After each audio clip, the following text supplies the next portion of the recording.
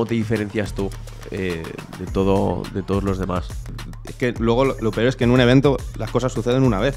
Ahora ya cada vez intento Más- hacerlo selectivo. menos. O sea, no solamente estás perjudicándote a ti, sino a todo el mundo. Oye, que, que se quiere ir al desierto Lando Norris con sus amigos, ¿te quieres ir con él y haces un vídeo?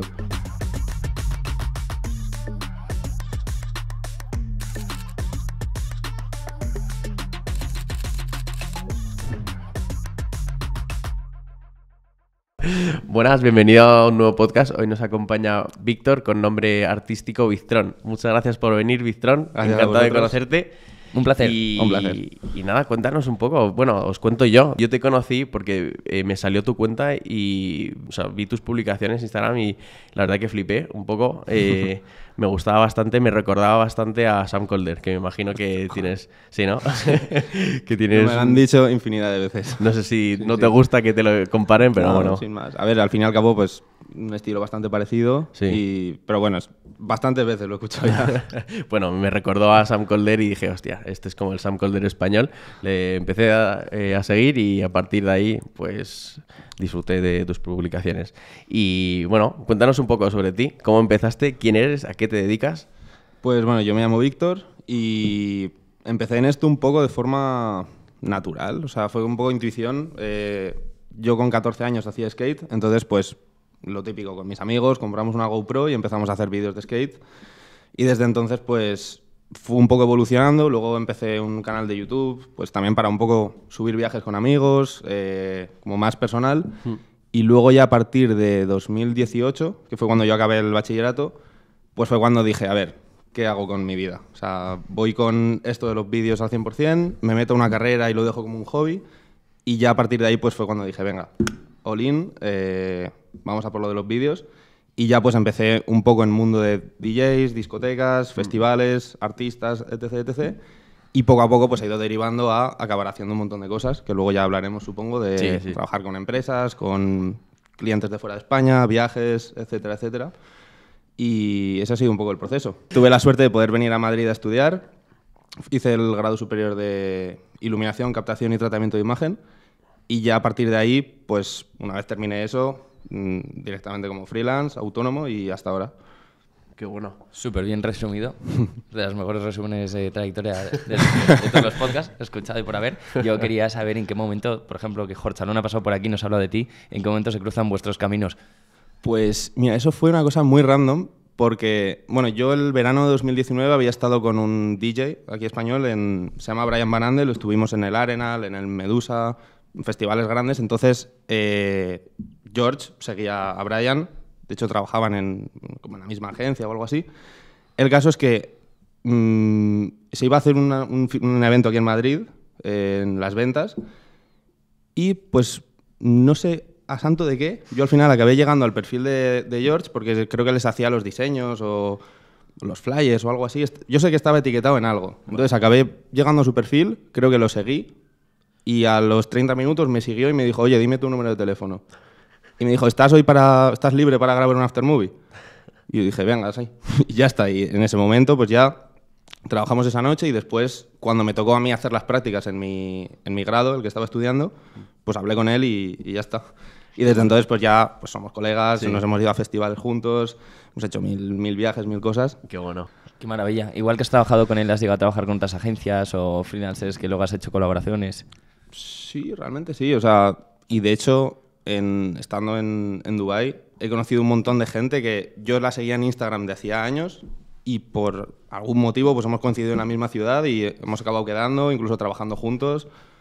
Y, o sea, son, son nombres que igual nos suenan porque se quedan un poco fuera de España, pero hay un chico de Canadá que se llama Benji, también hace un contenido bastante guay y coincidí con él el verano pasado, con otro chico de Australia, eh, no sé, al final un montón de creadores que estamos que nos dedicamos un poco a lo mismo Qué guay. Y, y he tenido como el placer de poder coincidir con ellos y acabar currando en, en proyectos muy guays. Qué, bueno. No quiero saltarme pasos, pero ¿qué está pasando con Dubai? Que hay un mogollón de creadores ahora mismo allí trabajando. Pues es que es como el...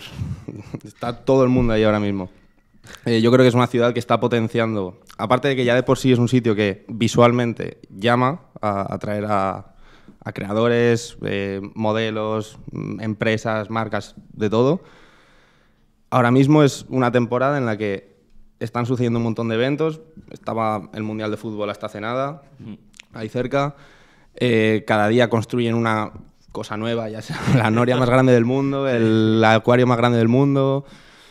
Hay como mil atracciones y luego aparte, pues eh, a nivel eventos y a nivel cosas de interés, pues que está atrayendo público de todo tipo, desde gente que le interesa los negocios, gente que, que está buscando por tema de propiedades, o sea, Sí. como está atrayendo un montón de inversión extranjera, entonces al final a nosotros nos interesa porque si las marcas están allí, Claro. pues, le vamos a sacar partido sí o O sí. sea, necesitan contenido a saco. Sí, sí, sí.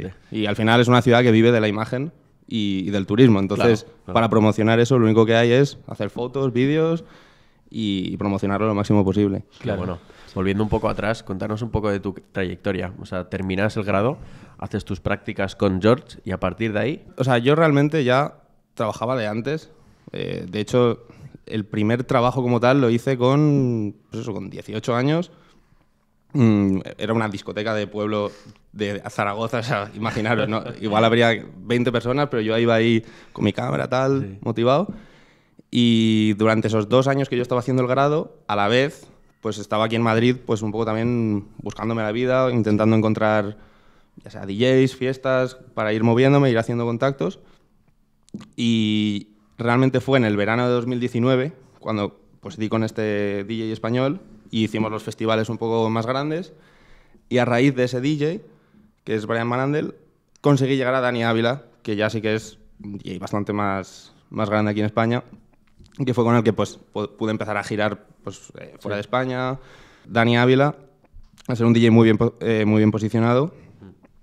Mm, al final, su red de contactos y gente que le sigue, uno de esos contactos vio mi trabajo con él y era el de Dubai y me dijo, oye, necesito contenido aquí en Dubai, vente. O sea, fue, al final es un efecto cadena que si vas tirando para atrás nunca sabes realmente cuál fue la persona adecuada en el momento adecuado, pero al fin y al cabo el boca a boca y currar bien te lleva a que se te presente la oportunidad perfecta. claro, tú cuando estabas buscando aquí curro y proyectos y tal, ¿cómo lo hacías? Instagram. Sí. Sí, o sea, coger y escribir directamente por Instagram, hola, mm, hago vídeos, aquí tienes lo que hago y si te gusta, pues vamos a trabajar juntos. O sea, a veces parece que es muy complicado, pero es tan sencillo como directamente presentar lo que haces y si tu trabajo es bueno, ya está. Y ahí o sea, por suerte no... En el mundo en el que estamos, si, necesit- si a alguien le va a gustar lo que haces, necesita un vistazo, no necesita un título, no necesita Ya. que le digas qué cámara tienes, qué equipo, nada. Claro, me Más- imagino, me imagino, me imagino que, que en ningún momento has dicho, mira, tengo un grado de iluminación y así. No, no. bueno, No, que va, que va. De hecho, mis profesores del grado me... Llegaba tarde a clase, o sea, Sí. me tenían en plan, oye, por favor, tómatelo un poco en serio, pero como a la vez estaba compaginándolo con, pues, con lo que yo hacía en ese momento, sí. pues bueno, era un poco encontrar el, el equilibrio. Qué bueno. Entonces, más de, de Dani Ávila, ¿has dicho? Sí. Dani Ávila. eh, y a partir de ahí eh, empiezas a hacer distintos proyectos. ¿Cuándo llega tu primera marca, por ejemplo? Pues, a ver, marcas como tal, tampoco he trabajado con muchas marcas, eh, porque al final, pues, me he centrado de momento más en todo lo que son eventos, artistas y, y ese mundillo. Sí. Pero algún proyecto así con marcas hice con Juxus Brand, que es una marca de aquí en Madrid. Hicimos un vídeo en Mallorca y yo creo que ese ha sido el único proyecto que es en plan proyecto, porque lo típico de que te manden un poco de ropa y haces dos stories, tampoco lo considero Vale. trabajar con una marca como tal. Ese vídeo, por ejemplo, sí que fue un proyecto guay y que yo creo que el resultado mo- mola bastante. Entonces, ahora, volviendo a Dubai, ¿qué tipo de vídeo de filmmaking haces? Pues, a ver, yo trabajo con una agencia que es una productora de eventos. Entonces, ellos se dedican a, imagínate, quieren traer a Justin Bieber. Pues ellos buscan el sitio, hacen el marketing, buquean al artista y organizan lo que es todo el evento. Entonces, yo con esta agencia lo que hago es el contenido de vídeo de todo eso. Ya sea hacer un, el tráiler de que viene Justin Bieber, eh, cuando está haciendo el evento, pues cómo preparan el, el- el estadio, la gente llegando, luego lo que es como el vídeo recap o el after movie, Sí. o sea, to- y todas las piezas luego de redes sociales. Entonces sería como toda la estrategia de vídeo de cada evento. Entonces ahora como está siendo la temporada bastante heavy en Dubai, cada dos semanas hacen un, un evento nuevo, entonces tengo que estar yendo y viniendo todo el rato. Hemos hablado de Dubai y principalmente audiovisual. ¿Hay otro tipo de negocio que gestiones a día de hoy? Pues de momento no. De momento estoy 100% con esto. Sí que es verdad que mi objetivo ahora mismo es un poco formar un equipo y ya dejar de ser solamente yo y poder contar con más gente, igual que habéis hecho vosotros. Al final, Sí. si hay alguien que pueda hacer algo mejor que yo, pues directamente curro con él y, y el resultado va a ser siempre mejor. Entonces, un poco ir, ir creciendo eso, solidificar eso y, y no sé si montar una agencia, una productora, pero, Bueno, pero ese, ese es un poco el, Tienes la tiempo, idea. tienes tiempo. ¿Cuántos años tienes? Perdona. Como 22. Joder, es que eres muy joven. o sea, y, y la verdad que, que hayas llegado a- a- hasta aquí con siendo tan joven es bastante... Apunta maneras esto. De todas maneras, Apunta maneras. tiene muchísimo mérito, la verdad. Así que enhorabuena por e- en ese aspecto. Eh, una cosa del- del que- de lo que quería hablar contigo también era algo de lo que hablamos con Andrea. Era sobre la ola de filmmakers y del filmmaker glori- glorificado, por así decirlo. Hmm. Nosotros hemos visto que durante estos, igual, cinco años, eh, ha habido como un boom de gente que quiere ser filmmaker. Gente como Sam Calder, gente como Sí. Rory Kramer, que han, han creado como un, un estilo de vida que parece muy atractivo para la gente. ¿Y qué opinas tú al respecto? Pues a ver, yo es que soy un chaval más de, de la ola esa. Eh, al fin y al cabo, yo con 17 años descubrí un poco pues lo que dice Sam Calder, Rory Kramer. Sí. Me acuerdo además fue en las vacaciones de Semana Santa. Un día estaba en YouTube y de repente me salió un vídeo de Rory Kramer. Sí. De ahí enlacé a el de Sam Calder, no sé qué. Sí. Es como que de repente me, me dio la fiebre con eso y ayudó al, al hecho de la decisión que tomé de ir a por lo de los vídeos. Porque yo en principio iba a estudiar ingeniería informática. Ya ves tú. Pero sí, sí, al fin y al cabo yo pues también un poco me enamoré del- de la imagen esa del filmmaker que está viajando, que Claro. pues trabajando con marcas, eh, mil países, como un poco el estilo de vida ese. Sí. Lo del filmmaker glorificado, pues se ve muy Sí. atractivo en, en Instagram y las fotos pero- que se sube y tal, pero detrás de ello, Claro. como dices, hay mucho trabajo. Sí, sí. No, Eh, sin ir más lejos. A ver, yo ahora mismo en Instagram no estoy prácticamente activo, o sea, hace bastante que no publico. Hace dos años sí que publicaba un montón y se me podía ver más lo que hacía, pero si tú ahora ves mi Instagram, puede parecer que es, eh, pues eso, que sí, viajando todo el día y tal, pero la realidad es, pues quedarte hasta las 5 de la mañana editando un proyecto porque el deadline es el día siguiente, bastante estrés. eh, o sea, no- n- lo que se muestra en Instagram es un 2% de lo que luego es La realidad, la ¿no? realidad detrás de, de todo eso.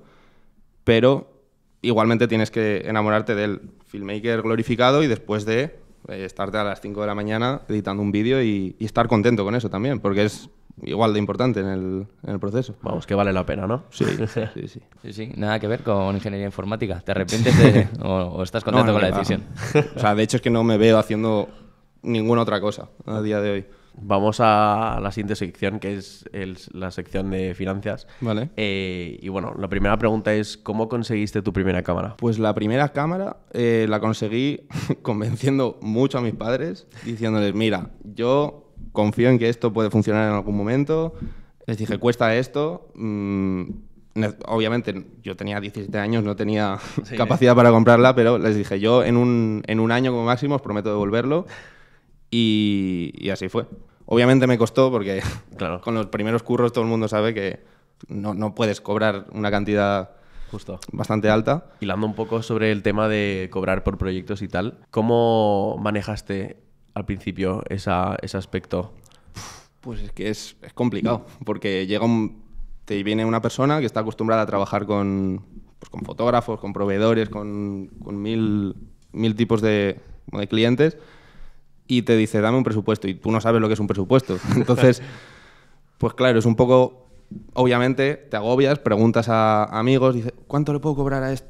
Eh, 150, 50, 200, lo que sea al final, pues dices una cifra y lo más seguro es que te la acaben cambiando en el momento. Entonces ya en el momento en el que sabes, vale, pues por este trabajo he cobrado X, pues la siguiente vez voy a pedir un poquito más. Y si me funciona, pues así. O sea, vas poco Como a poco y un poco ajustando. Claro. Y también intuición, obviamente. Es verdad que los, el primer tipo de clientes que tuve yo al principio eran mismo perfil, ya sea pues una discoteca, un DJ o un club, pero no, no pegué el salto de repente de hacerle un vídeo para un DJ a de repente para Vans, por ejemplo, o una marca grande en la que sí que habría un choque. Entonces, como fue bastante paulatino, yo más o menos sabía cuál era mi precio y lo intentaba ir subiendo poco a poco conforme iba pillando más experiencia y mejorando mi equipo, pero al final es, es un poco tira y afloja. También muchas veces puedes pensar que un cliente va a tener mucho dinero, les dices tu precio y te dicen no. Ya, Tenemos tanto. ya, ya, justo. Pero bueno, sí, el- prueba y error, básicamente. ¿Desde el principio cobraste o, llega- o empezaste haciendo trabajos gratis? O... No, desde el principio cobré, lo que pasa es que cobré muy poco. De hecho, fueron 50 euros, recuerdo, el, el primer vídeo que hice en mi vida. Y, y desde entonces he, he seguido cobrando. Pero es verdad que puntualmente he hecho algún proyecto gratis, como todos, yo creo. Sí. Igual un proyecto más personal o una colaboración Sí. puntual. O O sea, que, que te interese más, ¿no? Claro, o sea, yo veo lo de los proyectos gratis como que tienen que ser una oportunidad en la que tú acabes ganando casi más que la persona para la que estás trabajando tú de gratis. Y, sea, Y tiene que ser un proyecto en el que tú tengas el 100% de la libertad creativa, porque al fin y al cabo estás poniendo tu tiempo, tu equipo, tu esfuerzo, tus habilidades para sacar un resultado que tiene que, en primer lugar, ser satisfactorio para ti. Sí. Si no ganaras dinero por ello, ¿seguirías trabajando el día de mañana en lo mismo? Sí, sí, sí. Te mola. Sí, de hecho, esto no lo escuché en un podcast hace un tiempo que decía, tu pasión es aquello que harías si supieses que no vas a cobrar un duro el día de mañana. Yo Em, sí quería hablar de un tema que antes lo has tocado un poco por encima y hay un mensaje que te separa un cliente en Instagram, que me has comentado que tú has llegado a varios clientes a través de esa plataforma. ¿Cómo de importante consideras que es tu presencia online? Pues bastante, porque al fin y al cabo es lo que es el primer vistazo que va a tener la gente sobre ti, entonces solo tienes una oportunidad para que ese vistazo sea bueno. Cuando alguien llega a tu perfil, que todo lo que se vea sea exactamente lo que quieres mostrar y por lo que quieres que te contraten, al fin y al cabo. O sea, mm, de cara a trabajo, imagínate que tú quieres hacer vídeos de futbolistas y todo lo que tienes en tu Instagram son vídeos de bodas. Sí. Pues nadie te va a contratar para hacer un vídeo de, de futbolistas. ¿Cómo estás trabajando TikTok si es que has llegado ahí? Pues lo tengo abandonadísimo, la verdad. Pero sé que es ahora mismo la plataforma más potente y con la que es más sencillo crecer y llegar a un montón de personas. Y que obviamente, pues, de cara a un cliente, el decirle, Sí. pues mira, el tipo de contenido funciona y te lo puedo demostrar porque tengo en TikTok 100.000 seguidores y, Vale. y, y es exactamente lo que, lo que funciona en este sitio. Pero yo lo tengo bastante abandonado, la verdad. Subí uno en 2020, me funcionó muy bien y luego como que no he vuelto. He subido tres o cuatro más, pero no me han llegado a pegar el boom. En cuanto a filmmaking, si tú subes a TikTok un vídeo bien currado con producción detrás, con iluminación, grabado con una red, con actores, 100 visitas. Pero luego subes un vídeo de iPhone enseñando cualquier chorrada graciosa eh, de behind the scenes o lo que sea y se te viraliza. Entonces hay que cambiar bastante el chip en cuanto a qué es lo que funciona y lo que la gente quiere ver. O sea, nadie va a entrar a TikTok para inspirarse y, y utilizarlo como un mood board. O sea, tú entras a TikTok a ver memes, a- Contenido de... y, pero si encuentras alguna pieza que por lo que sea pues te motiva o te hace gracia relacionado con el audiovisual, pues yo creo que ahí está un poco el, el target y lo que hay que intentar hacer. Tú en TikTok no eliges lo que va a funcionar y lo que no. O sea, tú dependes de un algoritmo, entonces también es, de nuevo, prueba y error. Mm, Si subes 10 TikToks, uno de cada tipo, el que funciona mejor puedes decir, vale, pues esto funciona, pero luego lo subes otra vez y no funciona. O sea, es un poco... Es más cantidad que calidad, yo creo. Tema aparte, que nada tiene que ver. Eh, ¿Qué tal tu experiencia como autónomo? Cuéntanos tu historia o, o cómo, Pues cómo te metiste en ese jaleo. Pues mira, yo me metí en, el, en la trampa, bueno, en el, en el jaleo, eh, a raíz de, pues de nuevo, cuando iba a currar por fin con un DJ top, Dani Ávila, me dijeron, vale, necesitamos factura. Y yo dije, vale, pues ¿cómo, cómo hago esto? Y ya pues me tuve que dar de, de autónomo en ese momento, Claro. desde que tengo 19 años. Sí, sí, desde los 19 hasta ahora, son tres años, y ya, ya va picando la cuota, la verdad. Como estás en Dubai, ¿cómo, ¿cómo funciona eso? O sea, porque la agencia con la que trabajas es de Dubai. Sí, sí, sí. Está, o sea, está licenciada en Dubai y facturas al extranjero. Sí, o sea, no, no tiene ningún problema en ese Sí, aspecto. sí. No te compensa No. Dubai porque es que Dubai no tiene impuestos, ¿no? O sea, sí, sí. A ver, a nivel compensación, evidentemente Dubai, por eso todos los millonarios se están moviendo a Dubai, porque tienes 0% de impuestos y si, tienes, si cobras no sé cuánto más, creo que es un 5%. O sea, es prácticamente nada. Llegamos a la sección de proyectos y un poco proceso de trabajo. No sé si quieres lanzar la primera. sí. eh, bueno, algo que le estamos preguntando a todos es cuál es el proyecto del que más orgulloso te sientes. Yo creo que por lo que supuso en su momento y, y por todo el proceso que tenía detrás, es el aftermovie del Holica Festival 2019. Los tres días esos que fueron al festival hubo mil problemas, hubo... O sea, fu- fue bastante caos, hubo una, una ola de calor en el, en el sitio donde se hacía, casi me cargo mi cámara.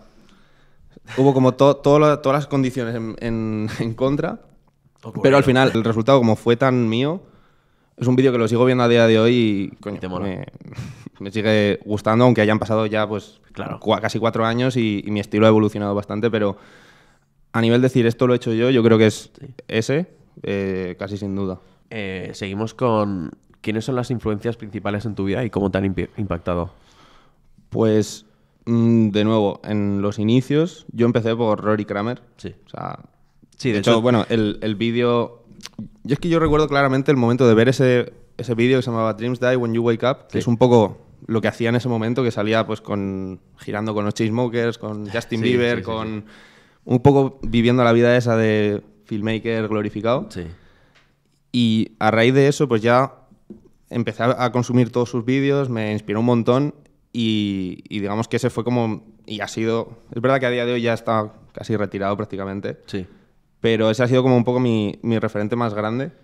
Y bueno, y luego también evidentemente pues mucho, muchos americanos, eh, yo qué sé, Nainoa Langer, Matt Como, Sí. y luego a nivel...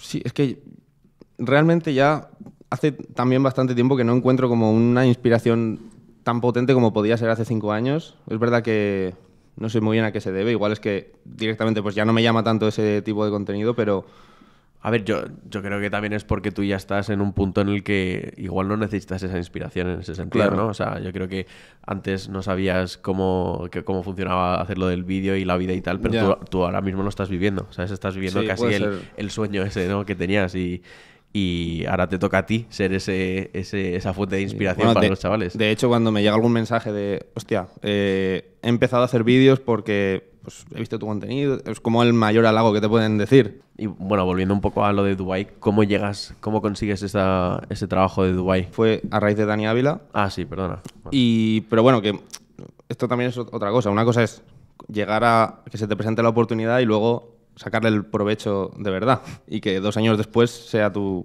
tu cliente de continuo. Entonces yo creo que un poco la clave fue ser buena persona y ser profesional. Porque de hecho me estuvo contando el, pues, el cliente este que había tenido experiencias horribles con filmmakers de América, de Canadá, de Australia, que o no le mandaban los vídeos o le, le- como que borraban el- los discos duros. O sea, le habían hecho todas las putadas que os podéis imaginar. Entonces, en el momento que llegué yo, que, soy un chaval normal, intento currar rápido, currar bien, eh, no intento hacer ninguna cosa a sus espaldas ni nada, pues eso lo valora y, y ya a día de hoy es que no se plantea coger a, a nadie más. Llevo ya dos años y, y algo con, con ellos y la verdad que súper bien. A nivel de habilidades clave para la gente que está empezando, lo decías ahora, quizás donde gentes, trabajar y, y crear una confianza ¿no? con el cliente. Sí, sí. ¿Hay alguna otra Al final clave? es tampoco es tan distinto de mantener una amistad con alguien. O sea, al final te tienes que preocupar por esa persona más allá de mm, vamos a hacer este trabajo y págame y ya está. Está de maravilla compararlo 100%. con una amistad. Me, me Sí, parece sí. la bomba el ejemplo. igual cada vez que vas eh, hablando con art- o conociendo artistas más conocidos o quieres entrar a, a hacer vídeo o colaborar, a hacer proyectos con artistas más conocidos, igual se te- las puertas no son muy, están muy cerradas, ¿no? Eh, porque hay un equipo detrás que gestiona su cuenta y tal. No sé cómo, no sé cómo manejas tú el, el, el acercarte a, a conseguir ese tipo de proyectos con artistas más Es que eso reconocidos. depende mucho del artista. Porque, por ejemplo, Martin Garrix, que supongo que os sonará, Claro, claro. que es el- no sé si está ahora mismo el uno del mundo, él mismo se lleva el Instagram, se, hace un selfie, lo sube, o sea, no tiene nadie que le lleve ni las redes ni nada. Anda. Y de hecho, este, nada, a finales de diciembre tuvimos la oportunidad de estar con él 30 minutos y es un chaval normal. Sí. O sea, totalmente normal, de coñas, de colegueo. Qué bueno. Pero luego, sin embargo, tienes artistas que no están en ese nivel, que puede que estén pues, mucho por debajo, y sin embargo tienen un equipo detrás, que es como son súper inaccesibles, no, no hay manera de hablar con ellos, casi ni te miran, o sea, eso es, mm, depende mucho del artista y de cómo te ha enfocado su proyecto y su equipo, entonces no hay tampoco un- una guía de decir, vale, a partir de este nivel se trata así con un artista y a partir de, de este por debajo se, se trata de otra manera. Depende un poco de todo, ¿no? Eh, Sí. ¿Qué tal es con Martin Garrix? Yo la cosa es que el año pasado él vino a Dubai y lo, lo organizó todo pues eh, la agencia con la que yo trabajo. sí. Y este año al, al verme, pues dijo, hey, me gustó tu vídeo del año pasado, no sé qué, me dio un abrazo.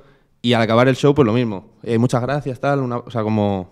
y bueno, y me, me siguió en Instagram el año pasado, me escribió, o sea, mu- muy loco.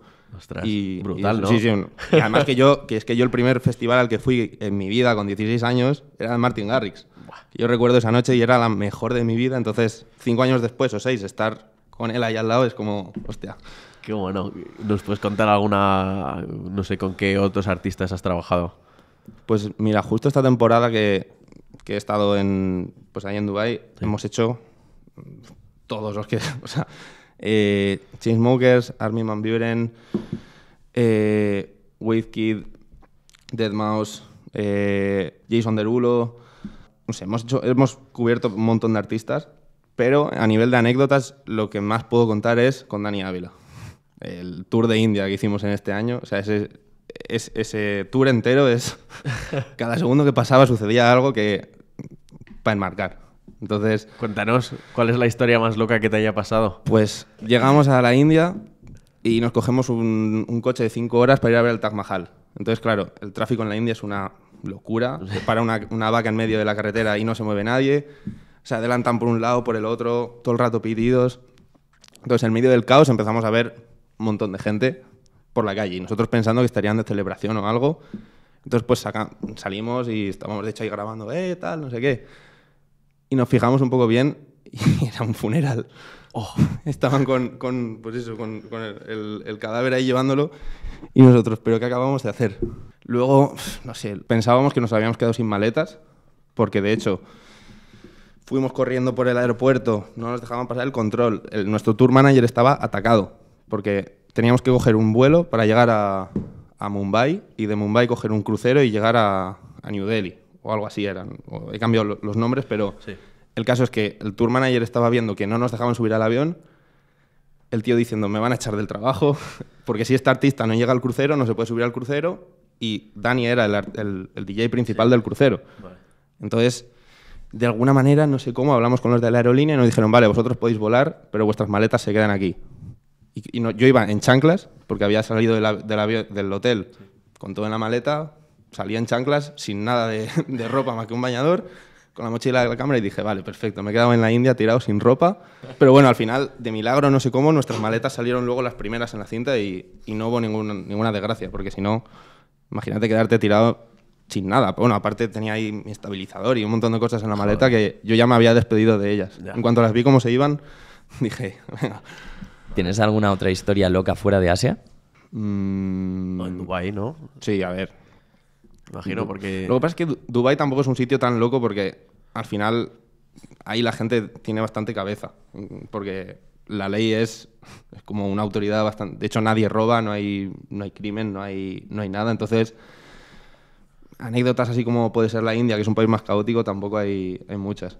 Tenemos la última pregunta, antes de secciones rápidas. ¿Qué planes tienes de aquí a futuro? Imagínate de aquí a 10 años, algo que tengas en mente. Pues un poco lo que os he comentado de al final montar un equipo guay de gente con un poco la misma visión que yo, que esté motivada, gente joven también. Y, y aspirar a proyectos, pues también un poco similar a lo que habéis hecho vosotros, que empezasteis por separado y a raíz de uniros y montar algo ya un poco más sólido, pues poder trabajar con clientes más, más fuertes. ¿Algún cliente en concreto, alguna marca que con la que te molaría trabajar? Yo creo que Red Bull, por ejemplo, es un- bueno, de hecho es que cuando empecé con los vídeos de skate en 2014 era como me veía todos los vídeos de Red Bull y, y es como un- una marca que yo creo que mola muchísimo para trabajar. Y así de festivales, pues no sé, por ejemplo, un Ultra Music Festival, por ejemplo, poder hacer algo con, con ese festival sería como el sueño. Lo que pasa es que ya evidentemente tienen Final Kid, que es como la, agencia que les lleva haciendo todo desde el principio. Entonces, pero bueno, igual a nivel individual poder estar de, de cámara o de editor en, en Ultra sería, sería top. Sí, yo, yo quería, yo tenía otra última pregunta hilando un poco de esto. ¿Cómo te diferencias tú eh, de todo, de todos los demás? Pues esa es buena pregunta, la verdad. Porque es verdad que hay muchísimos y, sobre todo en los últimos años, como que se ha explotado muchísimo. Claro. Porque todos los eventos, parece que si no hay vídeo, pues no han sucedido. Entonces, cada vez se gasta más en, en vídeos de eventos, en mostrarlo. Y aunque el evento sea luego en realidad un poco meh, si el vídeo es brutal, vas a conseguir que más gente venga el año que viene. Entonces, es verdad que hay mucha gente, pero yo creo que la clave es un poco separarte de lo que es la moda. Eh, por ejemplo, que se lleva a hacer muchas transiciones y, y movimientos de cámara así como demasiado forzados, pues intentar hacer algo más cinemático, más simple, pero que a la vez impacte igual y que, y que te transmita incluso más que hacer un vídeo trendy, por ejemplo. Sobre todo ser organizado, eh, tener un poco idea de qué va a ir lo que sea que vas a grabar, como una especie de escaleta mental o incluso apuntártelo en un teléfono, saber a qué hora va a suceder tal cosa y asegurarte de que estás donde tienes que estar, no ir un poco a lo loco y, uy, va, me he perdido este momento porque eso es lo peor que te puede pasar. ¿Alguna vez te ha pasado algo similar? Sí, sí, eh, de coger y justo cuando van a tirar eh, la pirotecnia final, que de repente se me acabase la, la batería, Ostras. cosas así que son... Que, es que luego lo, lo peor es que en un evento las cosas suceden una vez y si no lo has capturado bien, adiós. O sea, no, no hay manera de poder repetirlo ni hacer una toma dos. Aprendiste de eso, ¿no? Sí, sí. ¿Pasó algo grave después o...? No, no, no. No, menos sales, por suerte, pues siempre, como hay muchas más cámaras, Claro. hablas con alguien, le vas desesperado, oye, tío, no sé qué, me ha pasado esto, ¿te importa pasarme el último clip? Tal, te paso yo luego todo mi material si hace falta, lo que sea. Pero sí, eh, se ha organizado y también ir un poco con preparación de qué tipo de vídeo quieres hacer y grabar en función a eso. No, de nuevo, ir a lo loco, grabar absolutamente todo, porque después a la hora de editar es un marrón bastante grande. Claro. yo, cuando empecé, me acuerdo, el primer festival, no sé cuántos gigas grabé. O sea, grababa todo. Eh, pasaba un pájaro por arriba y yo lo grababa. O sea, era... Ahora ya cada vez intento Más- ser más hacerlo selectivo. menos. Y de hecho, es- esto es algo que he aprendido este año porque estuve, por suerte, en un. en- se llama Middle Beast, es un festival enorme que se hace ahí en Arabia Saudí.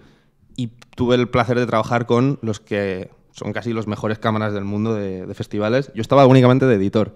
Vale. La primera vez que he estado solamente editando, entonces me venían los cámaras, con su cámara red, con lo que quieras, me sacaban la tarjeta y había 20 clips. Pero los 20 eran buenos, porque te venía uno, te volcaba 15, 20 clips y se iba. Y volvía a la hora con otros 15, 20. En vez de llegarte con gigas y gigas y teras de contenido Claro. Que no hay manera humana de poder reproducir todo y hacer un, edit rápido. Entonces, antes de darle al botón de grabar, yo creo que es clave asegurarte que todo está como quieres que esté y que va a tener un uso después en, en el vídeo. Me parece muy buen tip. Sí. Volviendo un poco, ya, ya es, es la última pregunta, pero eh, a la comunidad esta que, que tenéis, eh, los videógrafos de, de festivales y de eventos, ¿qué tal es el pano- panorama? ¿Os, os conocéis entre todos? ¿Os gustáis? ¿Os caéis Sí, mal? sí. No, sobre todo en España y mm, yo creo que hay bastante buen rollo y hay un ambiente bastante sano.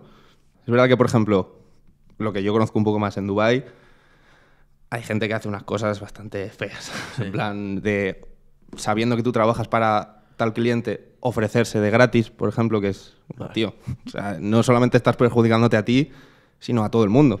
O sea, si tú te dedicas a tirar el, el precio para abajo o a cero, pues es que perdemos todos, al fin y al cabo.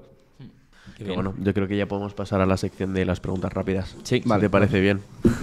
si estás Vamos. listo, Tú lanzas, Kevin. vamos a por ello. ¿Canon o Sony? Sony, ¿Cuál sería tu proyecto o colaboración soñada? Red Bull, ¿Filmmaker favorito o favorita? Rory Kramer. ¿Próxima inversión de equipo? El Sony 70-200 2.8. ¿Y eso cuánto, eso cuánto cuesta? 2.000 y pico, casi 3.000. Depende de si lo pillas bien o no. ¿Cuánto es lo máximo que te has gastado en equipo? Eh, 5.000 en el Mac nuevo. ¿Cuánto es lo máximo que te han pagado por un proyecto? 3.000 ¿Se puede decir qué proyecto? el festival este de Arabia, de Arabia Saudí. ¿Cuál es tu contacto más famoso en tu móvil? Lando Norris. Ese... Es piloto de Fórmula 1. ¿Y eso cómo llegó? Gracias a Martin Garrix. No porque son muy amigos y Buah. me dijo, de hecho fue lo mismo, yo tenía un vuelo a tal hora y el día de antes me escribe y me dice, oye, que, mm, que se quiere ir al desierto Lando Norris con sus amigos, ¿te quieres ir con él y haces un vídeo? Y, y ya está. Y al día siguiente pues me fui con él. ¿Qué tal es él? Muy majo. Sí. De hecho tiene un año más que yo, o sea, es, ¿Ah, sí? es mega joven y Ah, sí. sí, súper buena onda. ¿Objetivo favorito? Objetivo favorito, el 1635, 28. ¿Grabar o editar? Es que estoy 50-50 con eso. Sí, sí, cada vez casi que me gusta más editar. Pero. Es menos yo- físico. No, no, pero por físico no es. Pero yo. Venga, a grabar. si pudieras volver a tus 18, ¿qué consejo le darías a tu yo adolescente? Sigue para adelante. Que, que todo sale al fin y al cabo. ¿El destino más impresionante que hayas grabado? Mm, impresionante, impresionante. A mí me, me impactó bastante Nueva York. O sea, siendo que además que es lo que más se ha visto siempre en series y en pelis y, y en todo, el hecho de estar allí fue como, hostia, mola mucho más en persona que, que todo lo que se puede ver. Y sí, sí, me gustó muchísimo Nueva York. Y por último, que ya la has contestado, pero bueno, si quieres, eh, si te acuerdas de otra anécdota más loca de un shoot. lo, lo que en general, lo del tour de India entero, o sea, de hecho es que hice en, en el Mejores Amigos de Instagram, fui como documentando todas las locuras que iban pasando y eso es para vérselo en plan con palomitas. o sea, todo, yo creo que todo ese viaje en, en sí fue, fue una súper anécdota. Guay, pues ya está, eso es en todas las preguntas. Joder. Falta una doble pregunta que dejó Andrea Font en el último podcast. Hostia, verás. ¿A qué te dedicarías si no te dedicases a lo que te dedicas? ¿Y a, a qué nunca te dedicarías si no te dedicases a lo que te dedicas? Mm, si no me dedicase a esto, en general cualquier cosa creativa, porque desde pequeño siempre he sido muy de andar pintando, haciendo con los legos y, y todas estas cosas. Entonces, no sé, igual producción musical y en- incluso en programación, yo creo que hay cosas que son súper creativas también. Entonces, como me gustaba bastante la rama de la informática, yo creo que hubiese encontrado alguna manera de hacer, pues no sé si diseño de aplicaciones o alguna cosa así que, que tuviese esa faceta creativa. Yo creo que me encajaría, sí. Y la segunda pregunta, ¿a qué no te dedicarías nunca? como el típico curro de oficina de estar de, de 9 a 5 encasillado en un, en un, delante de un portátil, yo creo que es lo que más rechazo me da ahora mismo. Si tuvieras que dejar una pregunta a la siguiente persona invitada, ¿cuál sería? Bueno, voy a hacer dos preguntas, una de festivales y otra un poco más. Vale. ¿Qué artista te gustaría grabar en un, en un escenario? ¿Y de qué te arrepientes en tu carrera profesional? ¿Hay algo de lo que te arrepientas tú? Yo creo que no. Al final, todo- todas las decisiones que has acabado tomando te llevan a donde estás Grabar- justo ahora, entonces no, no hay de qué arrepentirse. Grabar- Aprender sí, pero arrepentirte no. Grabar ese funeral. eso seguro que sí. De eso se aprende. Muy bien. Oye, pues muchas gracias por venir. Ha sido brutal. Nada, gracias a me ha vosotros, encantado. chicos. Ha sido muy inspiracional. Así que encantado. Ha sido un placer. Un placer, chicos. Me lo he pasado muy bien y, joder, gracias por traerme. Nada, gracias a ti por venir. Ha sido un placer. Dadle like, suscribiros y etiquetad a cualquier persona que queráis que pase por aquí. Like and subscribe.